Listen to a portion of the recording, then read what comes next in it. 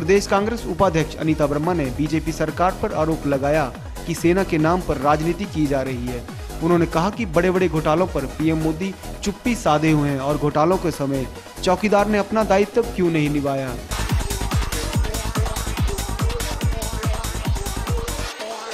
इस अवसर पर पत्रकार वार्ता में वरिष्ठ कांग्रेसी नेता अनिल वर्मा, जिला अध्यक्ष नरेश ठाकुर, सुनील कुमार, राजेश अनंत राजेश चौधरी भी मौजूद रहे।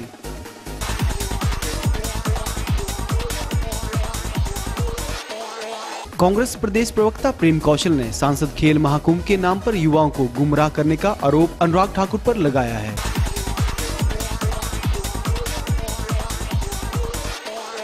हमीरपुर में पत्रकार वार्ता के दौरान प्रदेश प्रवक्ता प्रेम कौशल ने कहा कि पिछले साढ़े चौदह सालों में ऐसा कोई खेल महाकुंभ युवाओं के लिए नहीं करवाया गया, जबकि अब चुनावों के नज़दीक राजनीतिक लाभ लेने के लिए इस तरह के खेल महाकुंभ करवाए गए हैं। प्रेम कौशल ने सांसद खेल महाकुंभ पर प्रश्न चिन्ह लगाते हुए कहा कि कई जगहों पर युवाओं को सर्टिफिकेट तक नहीं दिए गए हैं और केवल युवाओं को गुमराह करने के लिए राजनीतिक लाभ लेने के उद्देश्य से इन खेलों का आयोजन किया गया है।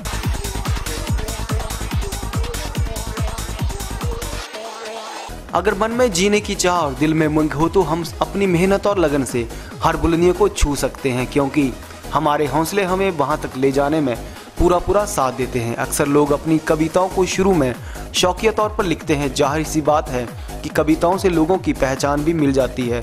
और अगर यदि कोई कभी स्कूल भी ना गया हो और कविता लिखने का हुनर रखता हो तो स्वाभाविक रूप से हैरत अंगेज लगेगा।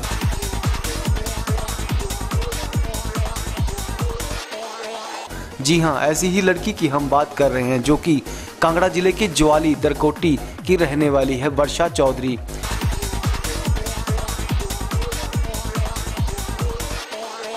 हैरानी की बात है कि वह कभी स्कूल नहीं गई, लेकिन फिर भी कविताएँ लिख लेती है। 28 वर्षीय वर्षा बताती है कि वह शारीरिक रूप से अक्षम है, इसलिए स्कूल नहीं जा पाई।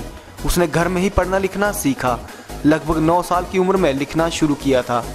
शुरू में जब लिखना नहीं आता था तो वह अपने भाई को बताकर अपने मन के भावों को कागज़ पर व्यांग करती थी। वर्षा ने बताया कि मैं पोइट्री लिखती हूँ और लाइफ में चैलेंज लेने के लिए हमेशा तैयार रहती हूँ। मुझे लगता है कि कुछ अच्छा कुछ क्रिएटिव हमेशा होना चाहिए।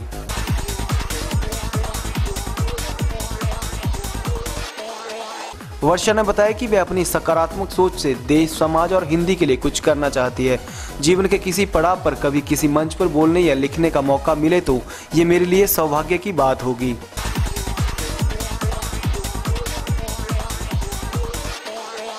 वहीं वर्षा चौधरी के पिता बलदेव राज का कहना है कि हमने अपनी बेटी को ऑल इंडिया कोई भी अस्पताल नहीं छोड़ा, लेकिन डॉक्टरों को आज तक इसकी बीमारी हाथ नहीं आई। उनका कहना है कि सरकार ने ऐसी आज तक कोई मदद नहीं की है। यहाँ तक कि इसे अपाहिज पेंशन भी अब एक साल हुआ है। सरकार की तरफ़ से लगी हुई है, लेकिन दुख की बात है कि जो सरकार बड़े बड़े वायदे करती है और दावे करती है, वो यहाँ पे सारे खोखले दिखते हैं।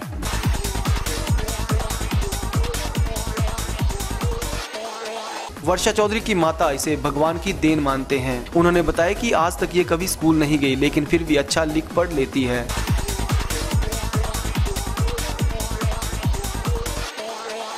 सतपाल सत्ती द्वारा रैली के दौरान मन से अभद्र टिप्पणी कर अब वे बुरी तरह फंस चुके हैं। कांग्रेस ने उन्हें घेरना भी शुरू कर दिया है। सोलन में सतपाल सत्ती के खिलाफ रोष रैली का आयोजन किया गया और पुराने उपायुक्त कार्यालय के समीप जमकर सत्ती के खिलाफ नारेबाजी भी की गई और इलेक्शन कमीशन से आग्रह किया गया कि वे सत्ती के खिलाफ सख्त कार्रवाई अमल में लाए।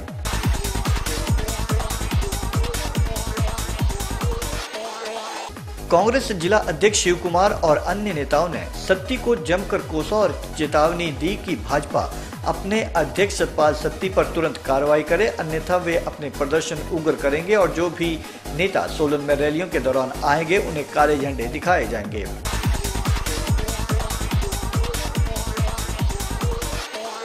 उन्होंने कहा कि सत्ती ने जहाँ महिलाओं को शर्मसार किया है, वहीं राधा स्वामी अनुयायियों पर टिप्पणी करके उनकी धार्मिक भावनाओं को भी आहत किया है।